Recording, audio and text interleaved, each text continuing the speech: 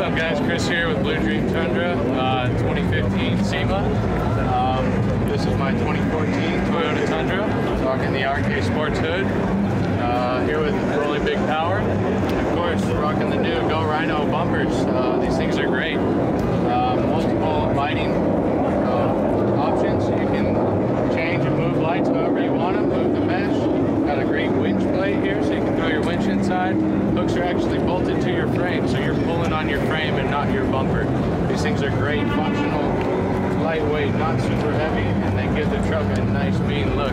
Definitely uh, very high on style, and uh, functionality is great with these things. Um, got my West Coast retrofit headlights on here that they did for me.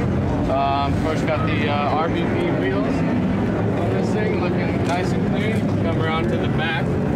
Got the uh, new Go Rhino bumper for the rear end. These things are great as well. You do also have the options of uh, mounting plates, lights. You could uh, swap out. You got the built-in step. Same thing with the hooks. They mount to your frame. You're pulling on your truck. You're not pulling on the bumper. These things are super aggressive. They look great. Nice and clean lines.